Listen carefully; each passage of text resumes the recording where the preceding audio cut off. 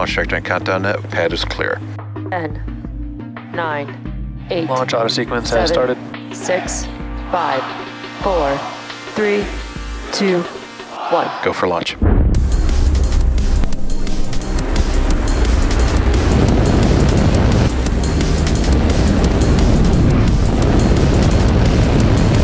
Vehicle is supersonic. Stage separation confirmed. Dragon, separation confirmed.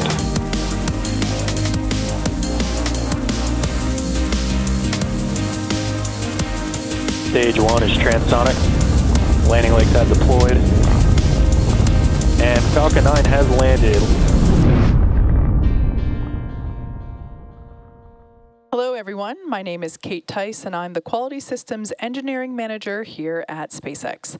I'm joining you today from SpaceX headquarters in Hawthorne, California, just a few hours south of our Vandenberg Space Force Base launch pad, which you see there on your screen. Today's Starlink mission. President for Strongback retract. Today's mission, today's Starlink mission will mark SpaceX's 45th launch this year and 183rd launch of all time. Now, for those of you following along, you know it's already been a pretty exciting day for us here at SpaceX. Uh, about seven hours ago, the NASA Crew 5 mission lifted off from Launch Pad 39A at Kennedy Space Center, headed to the International Space Station. The crew has another 22 hours to go before reaching the orbiting laboratory, and we're looking forward to their arrival tomorrow afternoon about 2 p.m. Pacific, 5 p.m. Eastern Time. But for now, let's turn our attention to our 64th launch of Starlink. The teams are currently tracking no issues with the vehicles or spacecraft. Weather and range are both green for launch, and we are proceeding with a T0 of 4:10 p.m. Pacific Time, just four minutes from now. The range is green and ready to support liftoff. And in preparation for liftoff, we're standing by for TE retraction. We heard that uh, the strongback was being pressurized, and it is a little tough to see through the fog there at Vandenberg. So we'll try to bring you a camera view if it's available. But we should see those clamp arms opening up.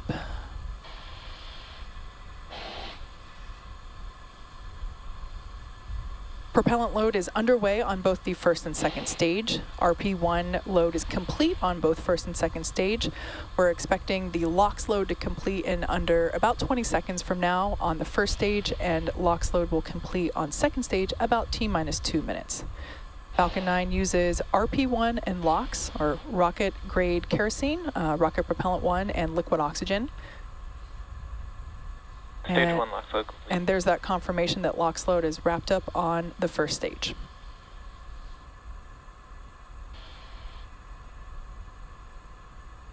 The next milestone coming up at T minus two minutes will be LOX load complete on the second stage.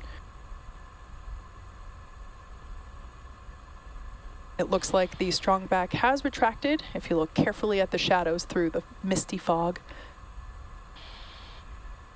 Now, if we had a little bit of a clearer view, we'd be able to see some uh, white gas venting from the vehicle now that the LOX load has completed on the first stage.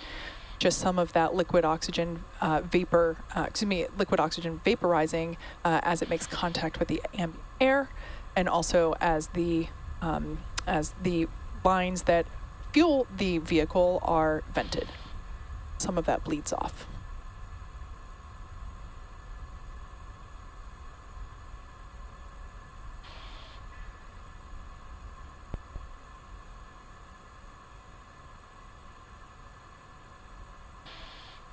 There we have a little bit of a clearer view.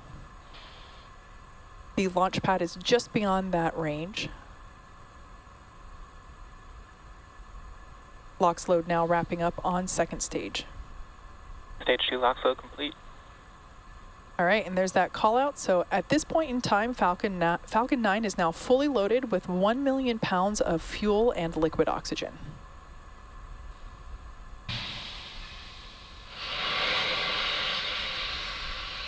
And there we see more of that venting occurring.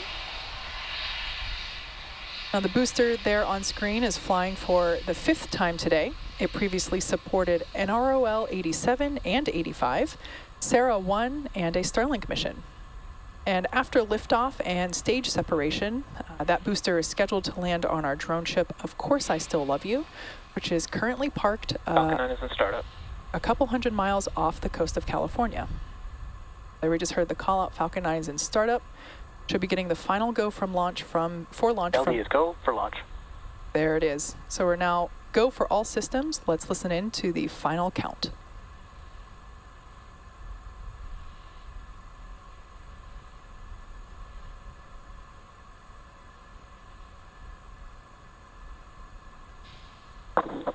T minus 30 seconds.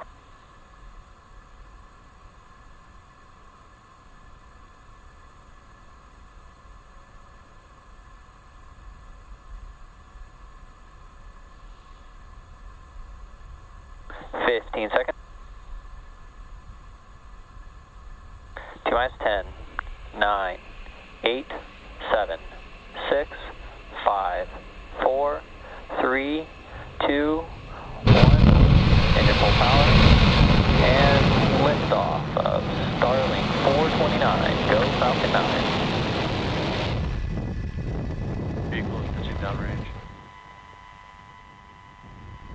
M1D chamber pressure is nominal.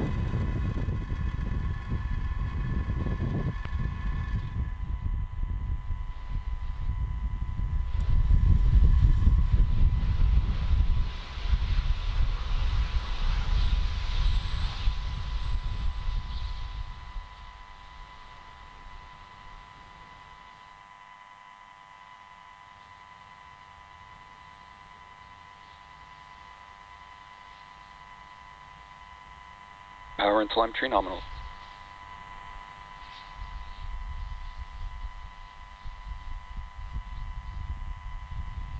Falcon supersonic.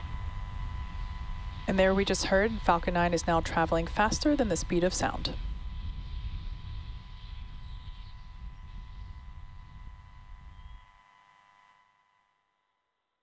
Max Q. And there we heard that Falcon 9 passed through max Q, which is the period of maximum dynamic pressure that the vehicle will feel during flight. So we're going to throttle those Merlin engines back up in preparation for main engine cutoff.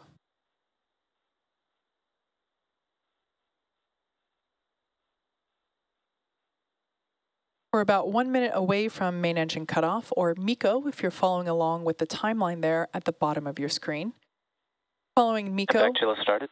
we'll have stage separation and second engine start, and we just heard that MVAC chill has begun. That's when we flow a little bit of the super chilled liquid oxygen into the turbo pump of the second stage engine, the MVAC, in order to prepare the hardware for the full flow of liquid oxygen.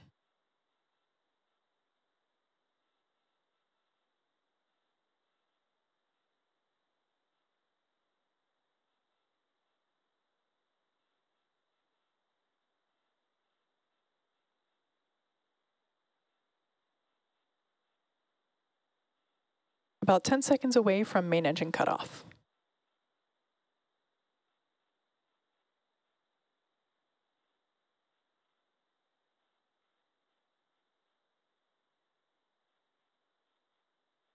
MECO.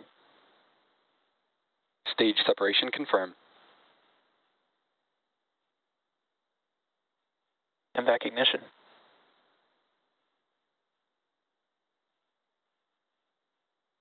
All right, quick succession there. Next up will be fairing deploy, and there we saw it live. Fairing separation confirmed. Separation confirmed. We can now see the Starlink satellites as well as the grid fins on the left-hand side of your screen now being deployed on the first stage.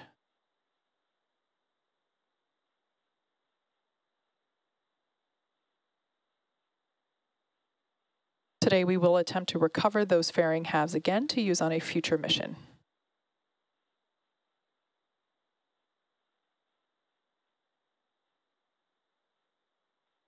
Beautiful view on the right-hand side of your screen as that MVAC nozzle begins to develop a beautiful red-orange glow. I love that view of planet Earth in the background.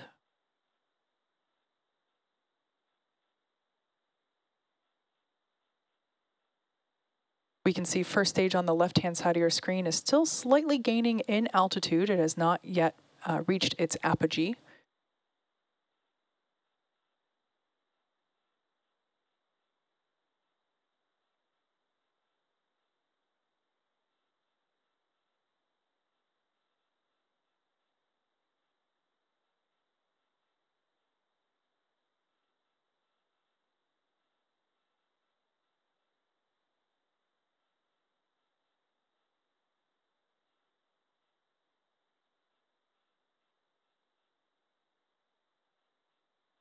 The next major event in about uh, less than two minutes will be stage one entry burn. We will ignite three of the Merlin 1D engines at the base of the first stage in order to help slow the vehicle down as it re-enters the Earth's atmosphere.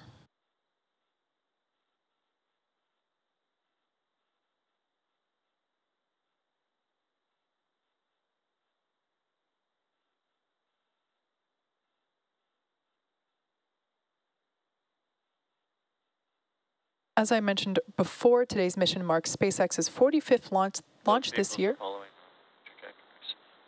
Sound like we had a call out that both vehicles are following nominal trajectories, so everything looking good there. Booster you see, well, saw on the left-hand side of your screen, previously supported NROL 87 and 85, SARah 1, and a Starlink mission, making today its fifth flight. As a reminder, Starlink is a satellite internet constellation designed and manufactured by SpaceX to provide high-speed, low-latency internet to people living in remote and rural locations all around the globe. Service is currently available in 45, 49 markets, markets, excuse me, around the world.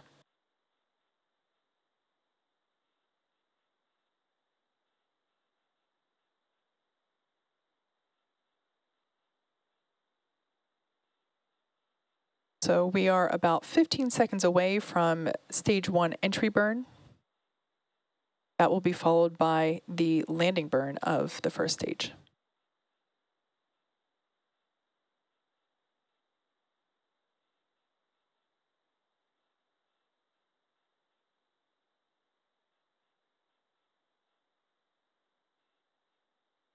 Stage one entry burn startup. There on your screen, we can see that entry burn has begun with the first stage on the left-hand side of your screen.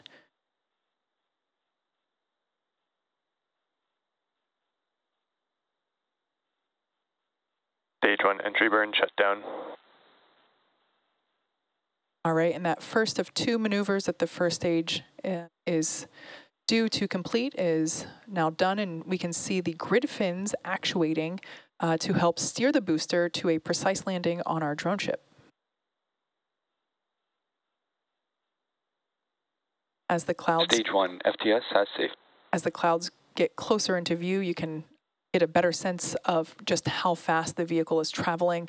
Based on the telemetry there on screen, we can see that it is coming down to about 4,000 kilometers per hour. Really demonstrating the ability of the atmosphere to help slow the vehicle down in addition to the uh, re-entry burn.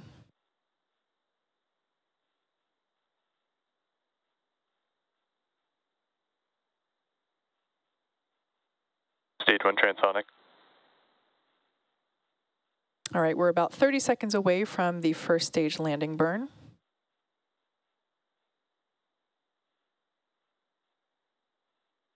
Right about the same time as we expect to see the first stage land, we should also hear callouts for second engine cutoff as well as hopefully good orbit. Stage two terminal guidance. Stage one landing burn. So there we can see the landing burn has begun, rushing through the clouds, and there's the drone ship Stage 2, Now in view. FTS has safe. Landing leg deploy.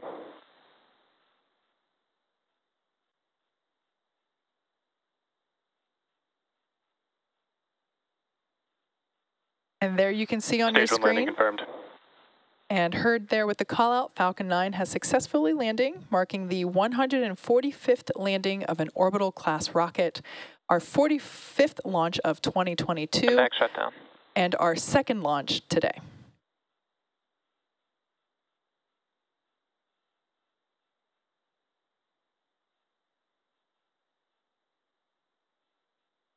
Nominal orbit insertion. All right, and there we heard the call out for both second engine cutoff and there just now uh, good orbital insertion. So now that we know we've reached good orbit, um, we uh, had and also had that successful second engine cutoff. Second stage is now carrying 52 Starlink satellites into low Earth orbit. And with confirmation of first stage landing and successful second engine cutoff, we're going to wrap up today's launch coverage. If you're interested in following along, we have our nets live on YouTube, so uh, be sure to check SpaceX, SpaceX social media for confirmation of Starlink deploy.